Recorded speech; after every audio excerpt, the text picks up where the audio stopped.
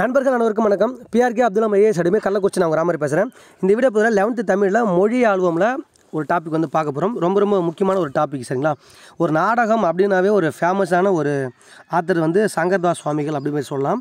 இவரை பற்றி தான் இப்போ இந்த வீடியோ பதில் பார்க்க போகிறோம் நறுக்கு நாலு கொஸ்டின் வந்து பக்காவாக பார்த்துட்டு சூப்பராக இந்த வீடியோ அழகாக முடிச்சிடலாம் சரிங்களா? இந்த நாடகம் நாடகம் அப்படின்னாவே மேக்ஸிமம் வந்து சங்கர்தாஸ் சுவாமிகள் தான் வருவார். நாடக தமிழ் வளர்த்தாருன்னு சொல்லுவாங்க. இப்போ பாருங்களேன் நம்ம சங்கர்தாஸ் சுவாமிகள் அப்படின்னாவே ஷார்ட்கட்டு சங்கர் ஞாபகம் வச்சுருங்க. சங்கர் சங்கர்னா டேரக்டர் சங்கர் ஞாபகம் வச்சுக்கலாம் டேரக்டர் சங்கர் என்ன படம் எடுத்தார்? நம்ம டூ பாயிண்ட் ஓ அப்படின்னு சொல்லிட்டு அந்த படம் வந்து எடுத்தார். டூ பாயிண்ட் ஓனா oh ரஜினி படம். அந்த படத்தை வந்து எடுத்தார் இல்லையா? எந்திரன் படம். அந்தமாரி வந்து டூ பாயிண்ட் ஓனா அவர் டூ டூல் தான் அதிகமாக வந்து இறந்துருப்பார். அதான் இருபத்தி ரெண்டில் தான் இறந்துருக்காரு. ஆறு ஏழு.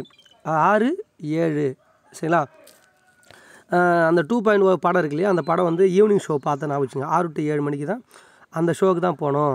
ஆறரை மணிக்கு ஷோக்கு போனோம். ஆறு டு ஏழு மணிக்குள்ளே அந்த படத்துக்கு போனோம் அப்படின்னு நான் வச்சுங்க ஆறு ஏழு டூ டூ டூ டூனா டூ பாயிண்ட் ஜீரோ அந்த படம் வந்து அந்த படத்துக்கு வந்து போனோம். சங்கர் படம் லாஸ்ட்டான டைரக்ஷன் பண்ண படம். சங்கர் படம் அதான். அதான் ஆறு ஏழு டூ டூ அப்படின்னு நான் வச்சுங்க இவர் பிறந்த வருஷம் இறந்த வருஷம் முடிஞ்சுங்களா? சரிங்க. இப்போ எப்படி நான் டேரக்டர் சங்கர் எப்படி படத்தில் தமிழ் சினிமாவில் எப்படி டேரக்டர் சங்கர் வந்து சினிமாவில் எடுக்கிறாரோ அதுமாரி வந்து இந்த டேரக்டர் சங்கர் வந்து என்ன பண்ணுறாருன்னா நாடகத்தில் ஃபேமஸுங்க எங்கே பார்த்தாலும் பாருங்கள் நாடக அமைப்பு நாடக அமைப்பு நாடக சபை சபைன்னு வரும். இப்போ சமரச சன்மார்க்க சங்கம் சங்கம்னா வேறு. ஆனால் சபை நாடக சபை நாடக சபை அப்படின்னு சொல்லுவாங்க இல்லையா? நாடக சபை அப்படின்னாவே பால சபை நாடக சபை சன்மார்க்க சபைன்னு வந்தாவே சபை சபைன்னு வந்தாவே சங்கர் தாங்க சரிங்களா? பாருங்கள் சமரச சன்மார்க்க சபை என்னும் நாடக குழுவை உருவாக்கினார். அதுக்கப்புறம் வந்து நாடக மேடை நாடகம் குன்றிய நிலையில் மதுரை வந்த சுவாமிகள் மதுரையில் வந்து என்ன பண்ணுறாருன்னா தத்துவ மீனா லோசனி வித்துவ பாலசபை. இந்த மதுரையில் ஆரம்பித்தது தான் பதினெட்டில். சன்மரச சன்மார்க்க சபைன்னு சொல்லிட்டு ஒரு ஒரு நாடக குழு உருவாக்குறாரு. அப்புறம் மதுரைக்கு வந்துட்டு பதினெட்டில் இந்த பதினெட்டு வயசுலேயே அவர் என்ன பண்ணுறாரு தத்துவம் பண்ணி தத்துவம் பேசி எல்லாத்தையும் விற்று அப்படின்னு கூட நான் வச்சுங்க பதினெட்டு வயசில் தத்துவம் பேசி எல்லாத்தையும் விற்று தான் நாடக அதாவது சினிமா எடுக்க ஆரம்பித்தார் அப்படின்னு நான் வச்சுங்க சமர சன்மார்க்க சபை சங்கம்னா வள்ளலார் ஒருவர் சபைனா வ சங்கரதாஸ் சுவாமிகள் வராரு சரிங்களா? ஓகே. அதுக்கப்புறம் வந்து இந்த சமரச சன்மார்க்க சபையில் இதில் பயிற்சி பெற்றவர் யார் அப்படின்னு சொல்லி கேட்டிங்கன்னா எஸ்ஜி கிட்டப்பா. ஒவ்வொரு ஷாட்டும் ஒவ்வொரு ஃபிலிமும் அந்த ஷூட் பண்ணுறப்ப கிட்ட இருந்து அந்த டூ பாயிண்ட் ஓ படத்தை வந்து எடுத்தார் அப்படின்னு நான் வச்சுலாம் பதினெட்டு வயசில் எல்லாத்தையும் விற்று தான் படம் எடுக்க ஆரம்பித்தார் நான் வச்சுலாம் பதினெட்டு நான் வச்சுனோம் சரிங்களா? நெக்ஸ்ட் வந்து இந்த சமரச சன்மார்க்க சபையில் உருவாகினது கி எஸ்ஜி கிட்டப்பா. இந்த பதினெட்டில் மதுரையில் உருவாக்குனது தான் தத்துவம். மதுரைனாவே தத்துவம் தானே? தத்துவம் வித்து தான் எல்லாத்தையும் உருவாக்கணும் சொன்னேன். இதில் உருவானது யாருன்னு கேட்டால் டிகேஎஸ் இது ஒரு கொஸ்டின் இது ஒரு கொஸ்டின் இதில் உருவானது எஸ்ஜி கிட்டப்பா இதில் உருவானது முக்கியமான நபர்கள் யாருன்னு கேட்டால் டிகேஎஸ் சகோதரர்கள் வந்து உருவாகியிருக்காங்க. சரிங்களா? இப்போ நாடு இப்போ எப்படி தமிழ் சினிமாவில் டேரக்டருக்கெலாம் ரொம்ப டாப் டேரக்டர்ஸ் தலைமை யாருன்னு கேட்டால் எப்படி சங்கர் சங்கரோ டேரக்டர் சங்கரோ அதேமாதிரி நாடகத்துக்கு தலைமை ஆசிரியர் யாருன்னு கேட்டால் ஹெட்டுன்னு யாருன்னு கேட்டால் சங்கர்தாஸ் சுவாமிகள் தான். சரிங்களா? தமிழ் நாடக தலைமை ஆசிரியர் யாருன்னு என்ன அழைக்கப்படுவார்னு கேட்டால் சங்கர்தாஸ் சுவாமிகள். சரிங்களா?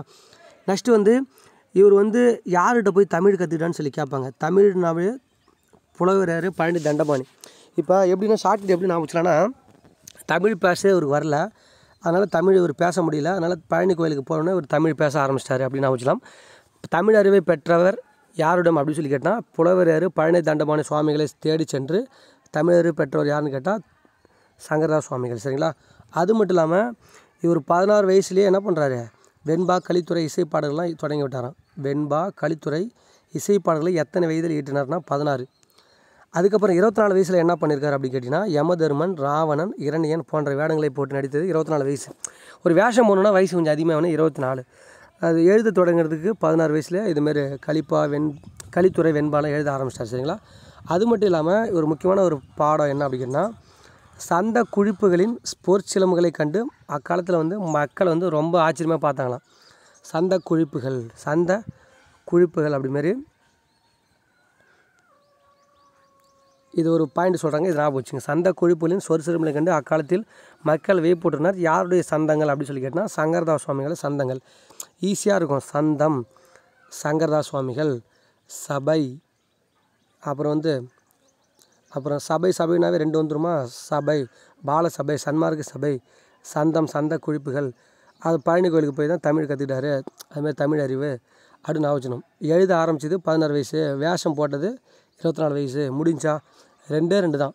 இந்த சபையில் உருவானது இவர் இந்த சபையில் உருவானது இவர். அவ்வளோதான் பதினெட்டு வயசுல தான் தத்துவம் பேசி எல்லாத்தையும் விற்று உருவாக்குனார் அப்படின்னு நான் தமிழ் டேரக்டருக்கு சங்கர். அதுமாதிரி நாடகத்துக்கு தலைமை யாருன்னு கேட்டால் தலைமை ஆசிரியர் யாருன்னு கேட்டால் சங்கரா சுவாமிகள். சரிங்களா? ஓகே முடிஞ்சுங்களா? ஈஸியாக ஞாபகம் வச்சிட்டோம். மீதி மீதி எல்லாமே ஜஸ்ட் ரீட் பண்ணால் போதும் சரிங்களா? ஓகே இதுலேருந்து நான் கொஸ்டின் கேட்குறேன் நீங்கள் ஆன்சர் பண்ணுங்கள் ஃபஸ்ட்டு கொஸ்டின் என்ன அப்படி சொல்லி கேட்டிங்கன்னா பதினெட்டு வயதில் மதுரையில் உருவாக்கிய சபை எதுன்னு சொல்லுங்கள் பதினெட்டு வயசில் மதுரையில் பதினெட்டு வயசுனா ஆயிரத்தி தொள்ளாயிரத்தி பதினெட்டுன்னு சொல்கிறேன் என்ன உருவாக்குனா சொல்லுங்கள் சரிங்களா? அதுக்கப்புறம் தமிழ் நாடக தலைமை ஆசிரியர் என அழைக்கப்படுவர் யார்? தமிழ் நாடக தலைமை ஆசிரியர் என அழைக்கப்படுவர் யார்? தமிழறிவை யாரிடம் சங்கர சுவாமிகள் பெற்றார் அப்படி சொல்லுங்கள் தமிழ் அறிவு.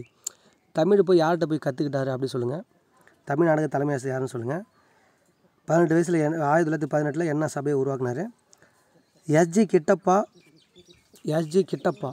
சில எஸ்ஜி கிட்டப்பா அவர்கள் எந்த சபையில் பயிற்சி பெற்றார்? நாடக பயிற்சி பெற்றது எஸ்ஜி கிட்டப்பா எந்த சபை அப்படி சொல்லுங்கள் இது மட்டும் ஆன்சர் பண்ணுங்கள் மீண்டும் அடுத்த பேர் சூப்பராக அழகாக சந்திக்கலாம். இந்த வீடியோ பதிவு உங்களுக்கு பிடிச்சினா ஃப்ரெண்ட்ஸ் ஷேர் பண்ணுங்கள் சப்போர்ட் பண்ணுங்கள் மறக்காமல் லைக் பண்ணி இந்த வீடியோ பதிவை உங்கள் ஃப்ரெண்ட்ஸுக்கு ஷேர் பண்ணுங்கள் சப்போர்ட் பண்ணுங்கள் கொஞ்சம் மேரேஜ் ஆனதுலேருந்து சரியாக நான் வந்து வீடியோ கொடுக்க முடியல. அடுத்தடுத்த வீடியோ இதுக்கப்புறம் ரெகுலராக உங்களுக்கு அப்டேட் கொடுக்குறேன். ஸோ அந்த மொபைல் ஃபோன் ப்ராப்ளம் வர கொஞ்சம் வந்துச்சு அதனால் வந்து சார்ஜ் இல்லை. அதனால் ரெடி ரெகுலராக வீடியோ கொடுக்க முடியல. எல்லாம் ஃபங்க்ஷன் எல்லாமே முடிஞ்சுச்சு. அதனால் இதுக்கப்புறம் ரெகுலராக வீடியோ வந்து உங்களுக்காக நான் வந்து கொடுக்குறேன். என்னால் முடிஞ்ச அளவுக்கு என்னுடைய சப்போர்ட் வந்து உங்களுக்கு கண்டிப்பாக கிடைக்கும். தமிழில் நூற்றி நூறு எடுக்கிறது என்னுடைய பொறுப்பு. மீண்டும் சொல்கிறேன் ரிவிஷன் வந்து கண்டிப்பாக நான் கொடுக்குறேன். நீங்கள் கேட்குற கேள்விக்கு பதில் சொல்லுங்கள் வீடியோ கண்டினியூஸாக கொடுக்குறேன். ஃபாலோ பண்ணிங்க. இந்த கால் நிறைய பேர் கால் பண்ணீங்க என்னால் எடுக்க முடியல. இது எதா ஏதாவது நீங்கள் வந்து என்கிட்ட கேட்கணும் அப்படின்னா இப்போலேருந்து நீங்கள் வந்து அந்த மொபைல்லாம் சரி பண்ணி வச்சுட்டேன். மெசேஜ் பண்ணுங்கள் உங்கள் டவுட் வந்து கிளாரிஃபை பண்ணுறேன் கண்டிப்பாக வந்து என்னோடய சப்போர்ட் எப்பவுமே இருக்கும். சூப்பராக அழகாக குரூப் ஃபோருக்கு அழகாக படிங்க. நன்றி அஹ் நன்றிங்க.